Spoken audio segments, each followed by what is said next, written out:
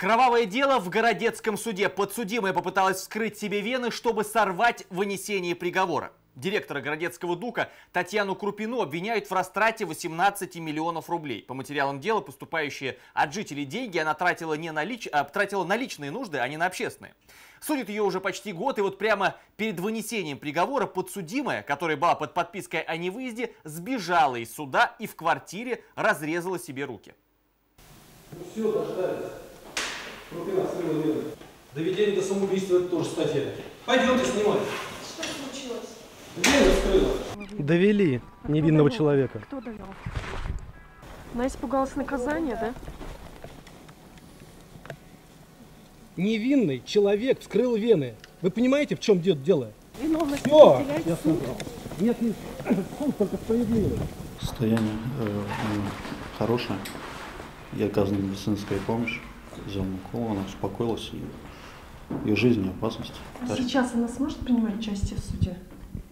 Это не я решаю. Там находится медик, скорая помощь оказывает. Знает, что везут ее в больницу госпитализировать.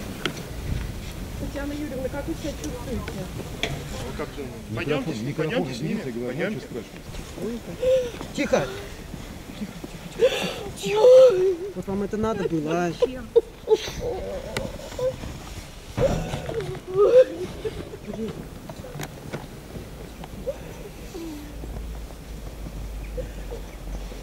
Пойдемте посмотрим, как миллионеры-то живут.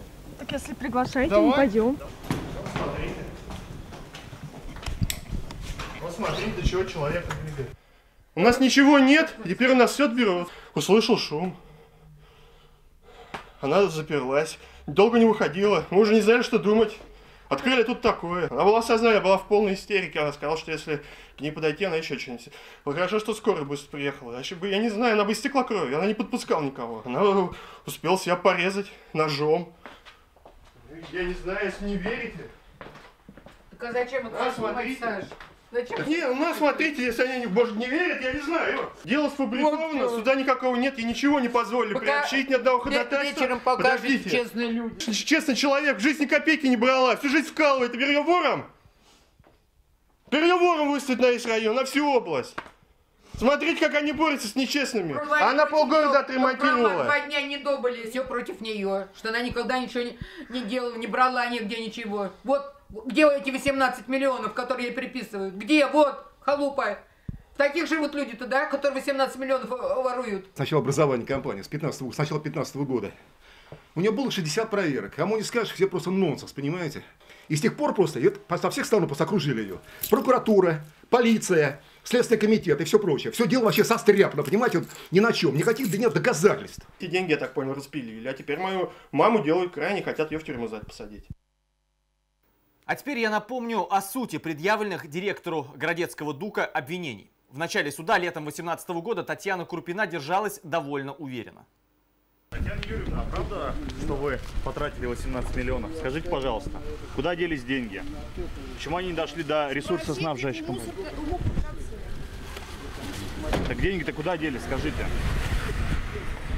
управляющая компания не платила ресурсоснабжающей организации за поставленный коммунальный ресурс. Где-то около 18 миллионов рублей, те, которые заявлены тепловыми сетями, Была одна компания с названием, например, Городецкий дом управляющей компании, в которой Крупина была директором, а учредителем был муниципальное предприятие тепловые сети. И получилось так, что ну, половина народа и не знала, то есть она, будучи директором, организует свою компанию, где уже она учредитель, с таким же копией названием.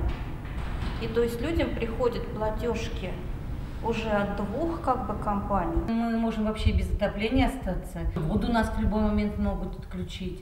Если они ни в теплосети, ни в энергосети, никуда ни, это не, не передают, ни в водоканал. она доказывает нам, что эти деньги не куда-то там припрятаны управляющей организации, это неоплата жителями, это спорные дома, это работа районного кассового центра. скажите пожалуйста, а правда, что у вас 18 миллионов недостача? Вы нам ответьте, пожалуйста. Выйдите, пожалуйста, с кабинета. Я вас не приглашала. А куда делись деньги? Приглашайте. Вы идите того спрашивать, кто вас заказал. Так вот, вот кто вас заказал? директор ваш. Идите с приемной, пожалуйста. Почему? С приемной. Почему? Вы нам скажите, а куда деньги-то делись у вас? Что можете про директора про своего сказать? Не споткнитесь, самое главное. И вот после длительного судебного разбирательства в этом деле суд пришел к выводу о виновности директора домоуправляющей компании. Несмотря на то, что она сама с перерезанными руками отсутствовала, приговор решили огласить даже в ее отсутствии.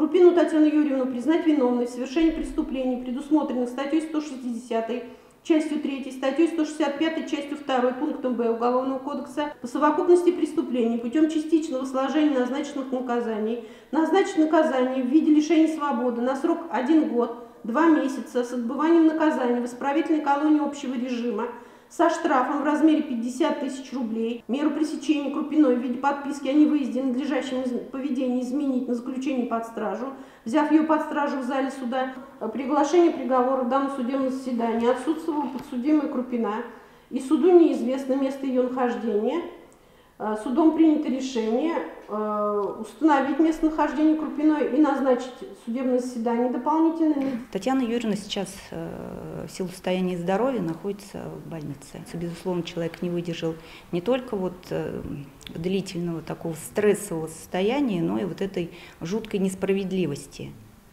Поэтому, безусловно, сторона защиты будет обжаловать приговор. Вот.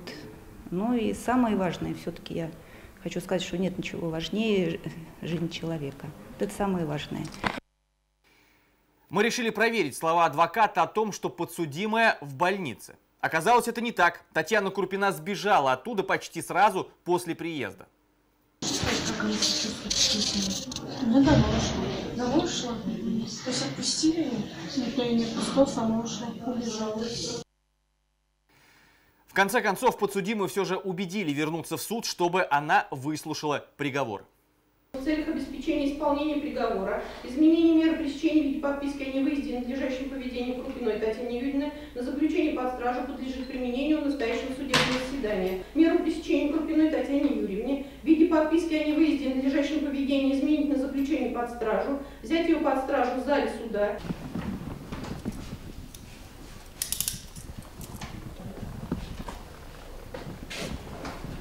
Татьяна Юрьевна, вы намерены обжаловать приговор? Намерены обжаловать приговор? Конечно. А как может это невинно осужденный оценивать решение суда? Чисто по-человечески жалко, конечно. Не за что, совершенно не за что. Шокирующий срок. Мы не ожидали этого. Потому что люди на доме у меня тоже в шоке. Директор управляющей компании очень заслуженный. И это подтвердят здесь многие. Если э, брать, допустим, вот э, термины, вот народный, вот она является народом. Это абсолютно с можно сказать. Чисто по-человечески. И лишение свободы я вообще не, не понимаю, честно говоря. Абсолютно. Такое впечатление, что мы имеем дело с каким-то рецидивистом. Я, честно говоря, даже не понимаю. Кстати, раны, нанесенные самой э, себе осужденной директором домоуправляющей компании, оказались поверхностными. Реальной угрозы жизни они не представляли. Сейчас Татьяна Курпина находится в следственном изоляторе.